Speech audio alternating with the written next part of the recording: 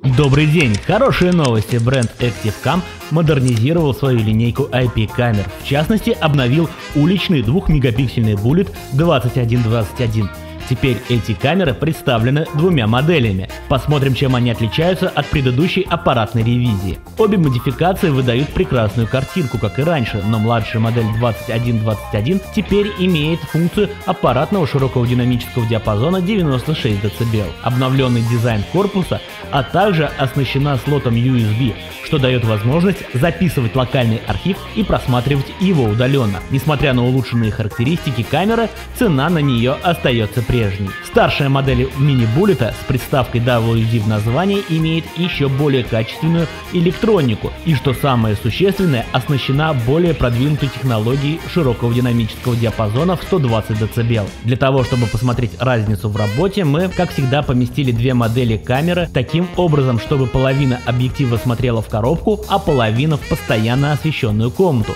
Коробку мы будем медленно закрывать. Два люксометра фиксируют освещенность внутри коробки и снаружи ее. Как вы видите, разница очевидна. Старшая модель 2121WD, она слева, лучше воспринимает темные и светлые области кадра. Стоит отметить, что обе новинки поддерживают облачный сервис Tracir Cloud. Спасибо за внимание, до скорых встреч! Еще больше полезного видео на нашем канале, ставьте большой палец вверх и не забудьте подписаться.